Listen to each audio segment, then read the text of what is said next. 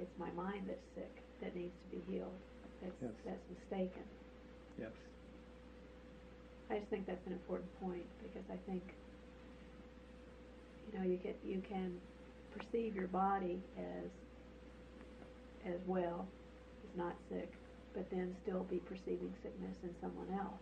And there's really no difference, Yes. is what I hear you saying, Mm-hmm. because the perception is mistaken, and, and the healing to correct that has to take place in the mind.